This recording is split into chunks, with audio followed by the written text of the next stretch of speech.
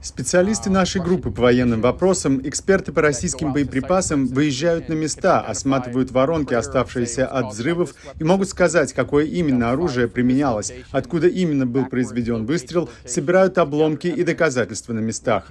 Военные аналитики помогают воссоздать поэтапно то, что произошло, кто произвел залп, кто дал команду для проведения операции, по всей вертикали командования, вплоть до самого Владимира Путина и военного руководства. Если вы посмотрите на природу самого конфликта, убийства, случаи сексуального насилия и депортации, все это связано с вооруженными силами, потому что все эти преступления совершают российские военные. Но большая часть расследования связана с беспорядочными обстрелами и ударами, которые наносятся российской артиллерией, ракетами, авиацией по гражданским объектам. Начиная с июня прошлого года я был в Украине более 10 раз.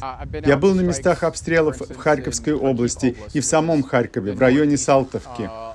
Это жилой массив, в котором жили тысячи людей. Его здания разбомблены.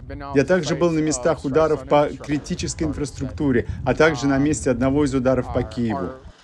В Украине заведено около 80 тысяч дел. Это огромное число. Для их расследования нет нужного количества прокуроров. Чтобы справиться с подобным количеством дел, уйдут десятки лет.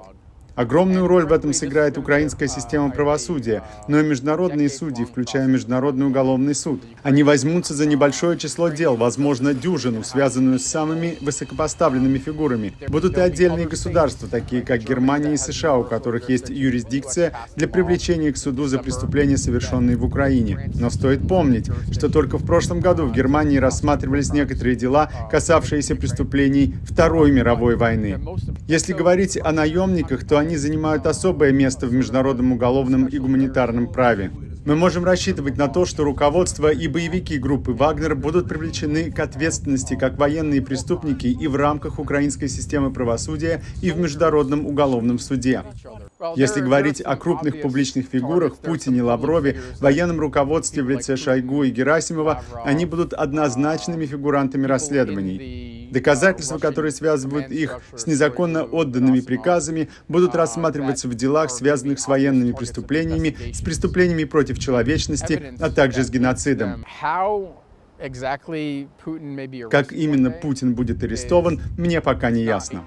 Глава государства располагает определенным иммунитетом в отношении судебных процессов внутри страны, но есть международные суды, подобные Нюрнбергскому трибуналу. Они формируются под патронатом ООН и могут судить глав государств. Вопрос о бордере на арест Путина и технический, и дипломатический одновременно. Согласно Римскому статуту, его страны-подписанты обязаны действовать, когда речь идет о военных преступлениях преступниках. Как это повлияет на решение, например, посадить самолет с этим человеком на борту, пролетающий над территорией этих стран, я пока не готов ответить на этот вопрос.